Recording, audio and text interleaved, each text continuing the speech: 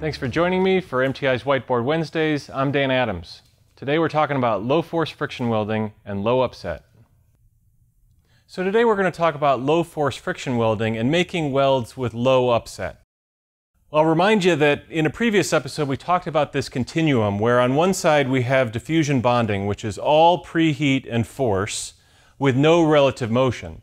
On the far side of the continuum we have traditional friction welding which is all relative motion and force with no preheat, with low force friction welding being in the middle of this. Now, with low force friction welding, because of the preheat aspect of this, we can make very low upset welds as represented by these drawings, showing a bulge of flash as opposed to a predominant flash curl. So the problem that this creates for users is if you need to remove this flash, if we could imagine that this is the wall of a tube, we need to possibly remove the OD and the ID flash. This flash curl presents a really ch uh, difficult challenge. If I'm bottle boring this or gas lancing, I might be milling or turning. Turning is one of the most popular ways to remove it, but now I need a two-axis flash removal system, which is complicated and expensive, to get these flash curls off without a ring or a bulge. Whereas if I'm going to make a low force weld, just having a bulge in the upset is a much easier flash geometry uh, to remove.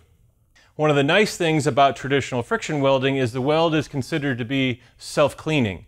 That's because we generate so much upset that any contaminant that you might have on the surface of the weld gets moved out into the flash because of all the upset that we generate. Now we can do the same thing with a low force weld and generate enough flash to move that contaminant out. But if we have a clean interface, we can make welds that have the same quality with very low upset that might prevent you from even having to remove the flash at all. But if you do want to remove the flash, then we can create a geometry by manipulating the parameters of preheat, force, and relative motion in order to get one that is much easier for you to remove.